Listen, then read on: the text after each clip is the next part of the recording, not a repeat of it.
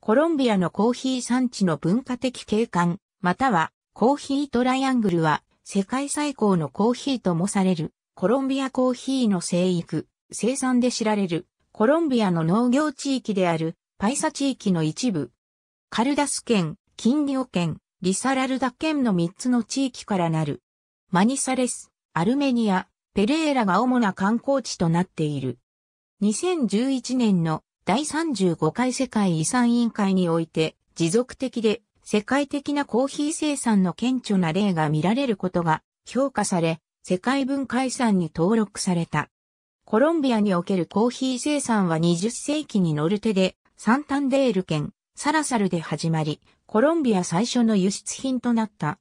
1999年には国内栽培品の3.7%を占め、農業輸出品目の37%に上った。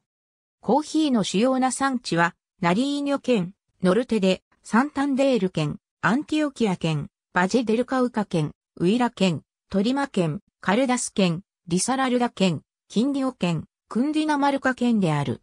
コーヒー生産の技能が大きく発展したことから、カルダス、リサラルダ、キンディオにまたがった、この地域は、コーヒー地帯と呼ばれる。1999年1月25日、リヒター式マグニチュード6.4のコロンビア近リオ地震が発生し、大きな被害を受けたが、経済は急速に復旧した。気候、地理、地質的条件により、比較的短期間の生育期間での高品質なコーヒーの生産を可能にしている。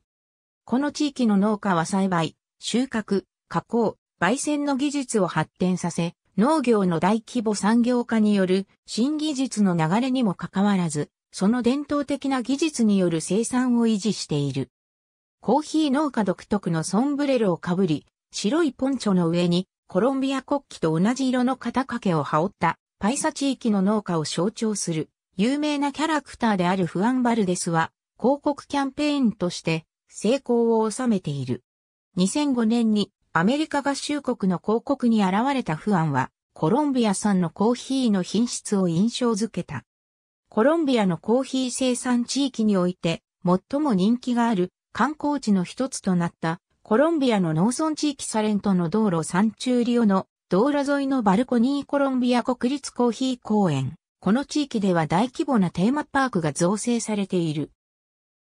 そのうちの一つ、コロンビア国立コーヒー公園がキンディオ県モンテネグロにある。この地域には伝統的なコロンビアコーヒーを堪能するためなコーヒーの加工過程が見られるコーヒー文化博物館があり、植民地のレプリカである他のテーマパークのように観光客がダンスや民族音楽、ケーブルカーからの青々と茂った木々のパノラマ景観を楽しむことができる。これらの地域ではトレッキングや60メートルに及ぶヤシの巨木、コロンビア最大のコーヒー農園を見学をすることができる。第35回世界遺産委員会で世界遺産リストに加えられた。登録対象となったのは伝統的生産が営まれている6県の農業景観でスペインのコロニアル様式の建造物群の残る18都市を包含している。そうした建築様式なども農業文化とともに評価された。